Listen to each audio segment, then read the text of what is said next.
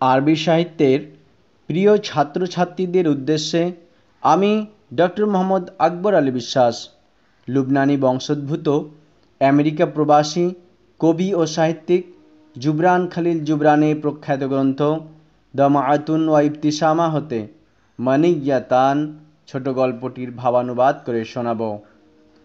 মানিয়াতান শব্দের অর্থ দুটি মৃত্যু। আশা রাখি গল্পটি তোমাদের সবাইকে ভালো লাগবে। চলো তাহলে গল্পটি শুরু করি। সাবস্ক্রাইব করুন আমার চ্যানেলকে এবং পাশের বেল আইকনটি প্রেস করুন আমার নতুন ভিডিও সবচেয়ে প্রথমে দেখার জন্য। রাত্রির নিস্তব্ধতায় বিশ্ববিধাতার নিকট হতে মৃত্যুদূত ঘুমে মগ্ন এক নগরীর দিকে অবতরণ করলেন। তিনি শহরের সুউচ্চ মিনারে অবস্থান করে উজ্জ্বল চক্ষুদয়ের দ্বারা দৃষ্টি নিক্ষেপ করে প্রাচীর পশ্চাতে অবস্থানগুলির প্রতি। সেখানে রঙিন স্বপ্ন, প্রতিটি আত্মাকে ডানায় বহন করে সুদূর ভাব জগতে পাড়ি দিচ্ছে, আর প্রতিটি শরীর আচ্ছাদিত ঘুমের গভীর গহীনে।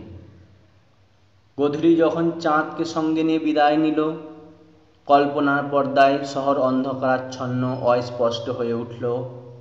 এমন সময় মৃত্যুদূত তার হালকা পায়ে ভর করে বাসস্থানগুলির দিকে এগিয়ে গেল।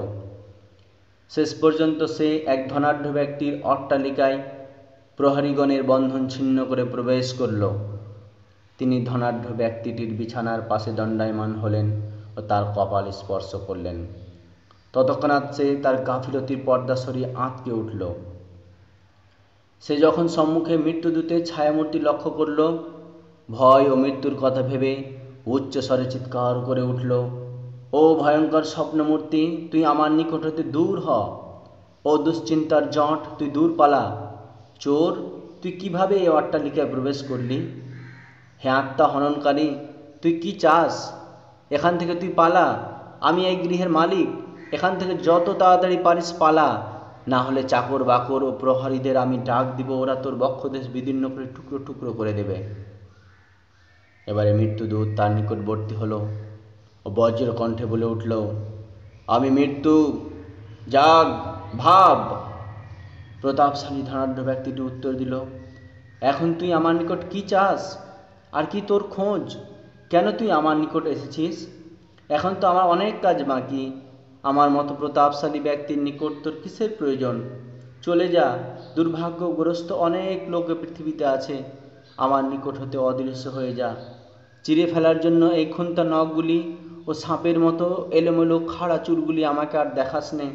তোর এই শরীর ও ভয়ঙ্কর পার্শ্বদেশের প্রতি তাকাতে আমার বিরক্ত লাগছে। এরপর নিস্তুপ থেকে সে জোর গলায় বলে উঠল, না না, হে মৃত্যুদূত, তুই কেন আমার কথায় কর্ণপাত করিস না? আমাকে প্রচণ্ড ভয় লাগছে যেন আমার অন্তর ফেটে যাচ্ছে। নিয়ে যা, এই আমার রাশি রাশি স্বর্ণ সম্পদ। যদি চাস, তবে আমার যে কোনো চাকর বাকরকে নিয়ে যা। অনেক লোকের এখন আমি হিসাব নিকাশ সমাধান করতে পারিনি। মানুষ ঋণগ্রস্ত, তারা আমার ঋণ শোধ করতে পারেনি। সমুদ্রের তরঙ্গ অতিক্রম করে পণ্য বোঝায় জাহাজগুলি এখনও কিনারায় এসে পৌঁছায়নি। ভূপৃষ্ঠে বপন করা রাশি রাশি রবি শস্য এখনও কর্তন করা হয়নি। নে, এসব বস্তু হতে যা চাস গ্রহণ কর, আমাকে ছেড়ে দে। আমার অনেক প্রতিবেশী আছে যারা সৌন্দর্যে উজ্জ্বল সকালের মতো প্রতিভাত।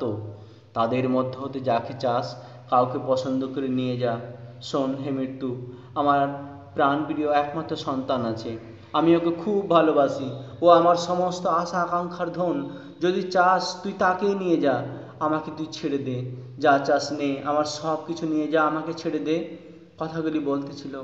এমন সময় মৃত্যুদূত মাটি হতে সৃষ্ট ধনী প্রতাপশালী ব্যক্তিটির মুখটি মুষ্টিবদ্ধ হাতে চাপটে ধরল আর প্রাণটি কেড়ে বাতাসে ছেড়ে দিল। এবারে মৃত্যুদূতের যাত্রা আরম্ভ হলো গরিব দুর্বল লোকালয়ের দিকে। শেষ পর্যন্ত সে উপস্থিত হলো এক জীর্ণ কুটিরে। সেখানে যৌবনে উপনীত এক যুবক বিছানায় শায়িত। মৃত্যুদূত সেই যুবকের শান্ত মুখমণ্ডলের প্রতি দীর্ঘক্ষণ চেয়ে তাকালো। তারপর চক্ষুদয় স্পর্শ করল। এতে যুবকের ঘুম ভাঙল।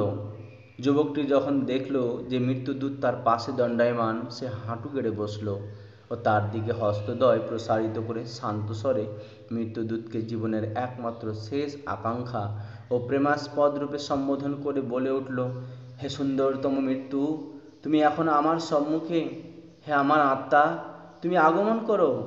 হে আমার বাস্তব স্বপ্ন ও সমস্ত আশা আকাঙ্ক্ষার প্রাণসত্তা আমাকে আলিঙ্গন করো। হে আমার প্রাণপ্রিয় মৃত্যুদূত, তুমি খুব দয়াদ্র, তুমি আমাকে এখানে ছেড়ে যেও না। কত শতবার আমি তোমার খোঁজ করেছি, কিন্তু তোমার সন্ধান পাইনি। বহুবার আমি তোমার নাম ধরে ডেকেছি, তুমি শুনোনি। আহ, দারুণ! তুমি এতদিনে আমার কথায় কর্ণপাত করেছ। হে আমার প্রিয় দূত আমাকে আলিঙ্গনাবদ্ধ করো। মৃত্যুদূত এবার তার নরম নখগুলি যুবকের অষ্ঠাপারে স্থাপন করে তার প্রাণ পাখি তুলে নিয়ে ডানার নিচে স্থান দিল। অবশেষে মৃত্যুদূত যখন আকাশে ডানা বিস্তার করল, তখন এই ধরনের পানে তাকিয়ে এই কথাগুলি বাতাসে নিঃশ্বাস ছেড়ে বলে উঠল, স্থায়িত্বের নিকট হতে আগত প্রত্যেকটি প্রাণ স্থায়িত্বের দিকেই প্রত্যাবর্তিত হবে।